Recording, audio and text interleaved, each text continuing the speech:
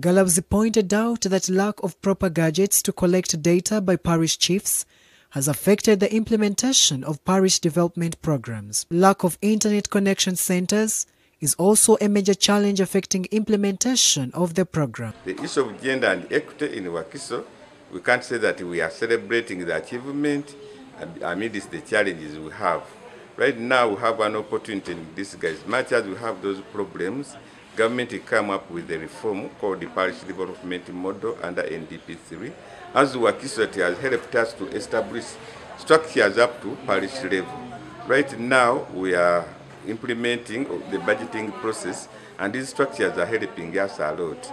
However, the collection of data has been still a challenge whereby the capacity of data collectors need to be improved in terms of having equipment to use as well as training them how to use the equipment. However, the chairperson of the Equal Opportunities, Safia Nalule, challenged the presentation saying that collection of data does not need superior gadgets. She rallied leaders and residents to embrace the parish development model program. We need to get a comprehensive report. The, the, the district planner is yet to compile a report, that report. Then the issue of land?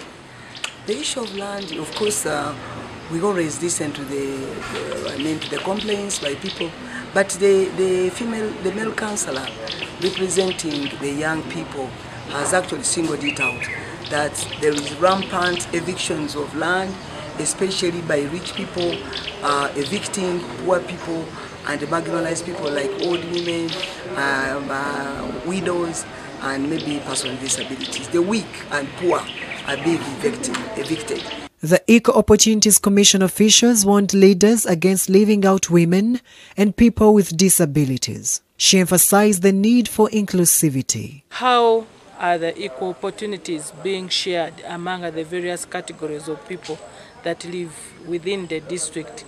The government of Uganda of late, under the implementation of the National De De Development Plan 3, has focused on inclusive development and leaving no one behind.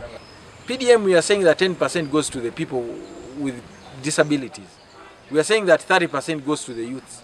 But when you look at the data that they have and the people that have been given money, the guidelines are not being followed. So we see that people are not getting equal opportunities because they are not following guidelines.